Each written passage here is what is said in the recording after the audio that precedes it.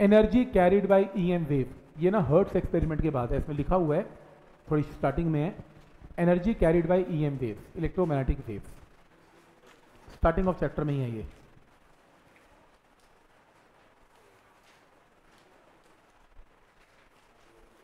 ठीक है page number seven पे है, सात नंबर पेज पे है। देखो तो energy carried by E M wave, अगर एक इलेक्ट्रोमैग्नेटिक वेव है और उसमें इलेक्ट्रिक फ़ील्ड भी है मैग्नेटिक फ़ील्ड भी है। मुझे मैथमेटिकली प्रूव करना है, आधी एनर्जी इलेक्ट्रिक है और आधी मैग्नेटिक है।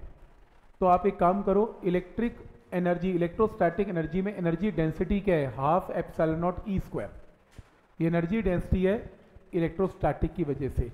मैग्नेटिक की फॉर्म में एनर्जी डेंसिटी क्या है? Half B square by mu nought ये इलेक्ट्रोस्टैटिक एनर्जी डेंसिटी है, ये मैग्नेटिक एनर्जी डेंसिटी है। हमने किया हुआ है ये। इलेक्ट्रोस्टैट में किया, ये इंडक्टर में किया था। आप इन्हें डिवाइड कर दें। जब आप डिवाइड करेंगे हाफ़ से हाफ़ कैंसल तो ये आंसर आ जाएगा। आपको सी का फॉर्मूला पता है। आप इसे स्क्वेयरिंग करके one by mu nought epsilon nought C square निकाल लेंगे। तो इसकी जगह क्या आएगा? वन बाई सी स्क्वायर और ई e और बी की रेशियो तो सी होती है।